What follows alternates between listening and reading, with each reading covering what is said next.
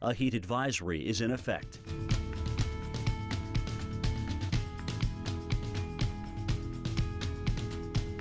Currently in our area, 92 degrees under fair skies.